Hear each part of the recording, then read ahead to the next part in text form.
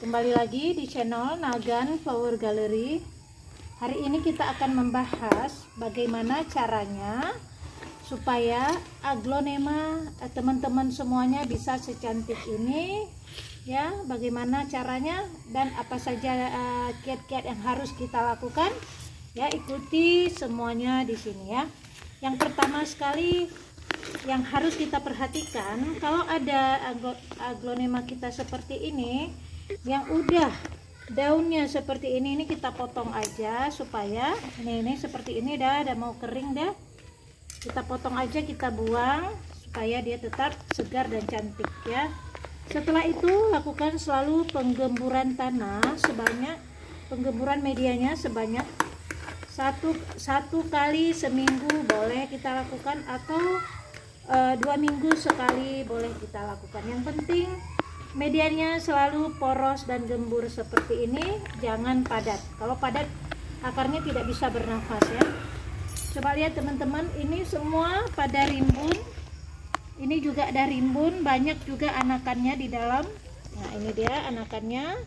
Banyak sekali anakannya di dalam. Bahkan ada 10 nih anakannya ya. Sebagiannya ada juga yang udah dipisah. Contoh ini ini juga banyak sekali juga anakannya. Ya sudah bisa merimbun seperti ini semuanya. Snow White juga. Kalau ada daun-daun yang udah agak-agak menguning kita gunting aja seperti ini kita buang. Ya. Ini hmm, penempatannya eh, eh, pengaruh juga untuk merimbunkan tanaman. Dan mempengaruhi juga untuk warna daun yang akan keluar. Ya ini warna daunnya udah ngeping seperti ini cantik sekali dan segar. Contoh lihat teman-teman. Nah ini dia. Nah, ya. Cantik daunnya. Walaupun eh, apa namanya tanaman biasa tetapi kalau penempatan dan per, perawatannya bagus dia akan tampil cantik segar seperti ini ya. Buat teman-teman semuanya supaya uh, cepat merimbun dan punya banyak anakan. Nah, tempatkan di tempat yang benar-benar terkena sinar matahari full tetapi di bawah naungan ya. Ini Snow White juga udah merimbun.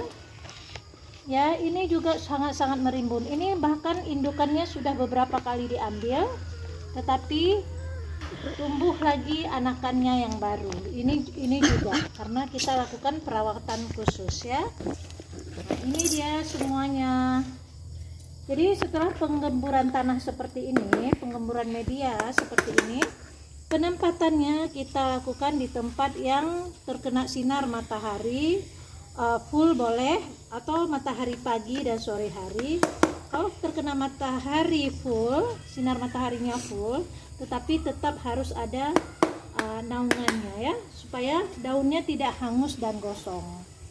Ya ini dia teman-teman selanjutnya mengenai penyiraman penyiraman rutin kita lakukan sebanyak seminggu uh, dua kali boleh kita lakukan ya atau tergantung medianya.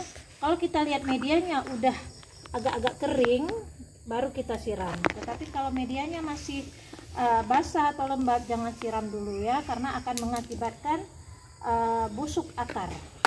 Ya buat teman-teman semuanya silakan ikuti semuanya uh, selamat mencoba dan ikuti semuanya proses yang uh, telah kami paparkan ya. Mudah-mudahan aglonema teman-teman semuanya jadi cantik dan indah seperti ini. Ya ini semuanya sudah merimbun dan ini pun nah ini dia merimbun juga. Ini bahkan ada tiga atau empat anakannya ini sering dipisah makanya tidak serimbun uh, rimbun kali ya. Ini juga sudah selesai diambil indukannya. Tetapi masih juga merimbun. Ya buat teman-teman yang ingin seperti ini ikuti ya semua proses yang ada di video ini. Mudah-mudahan aglonema teman-teman semuanya bisa secantik ini. Ya ya demikian video kita hari ini.